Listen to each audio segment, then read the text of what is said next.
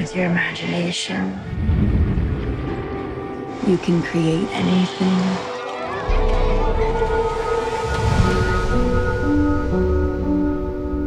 Where's the food, the beds? We were promised school supplies. They want you to go meet with them in New York. They want you to give us millions of dollars.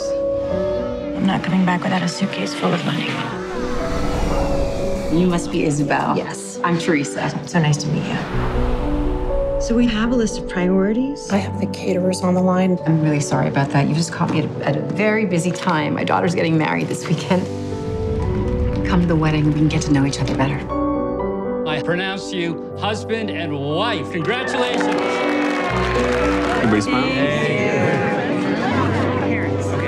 Hi, good, you made it. Isabel runs an orphanage in India that I'm thinking of funding. Oh, Yeah. What are you doing here?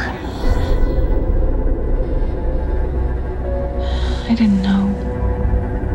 Hi. Isabel, right? I told you that I would call you. But you didn't.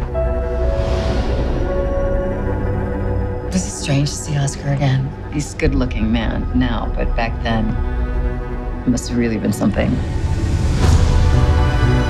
I'm about to donate a small fortune to the orphanage Isabel runs in India.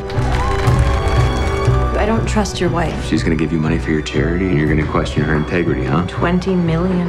What does she want?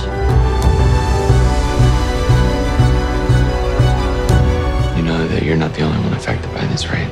We don't get to choose. You tell her or I will. I want to know everything.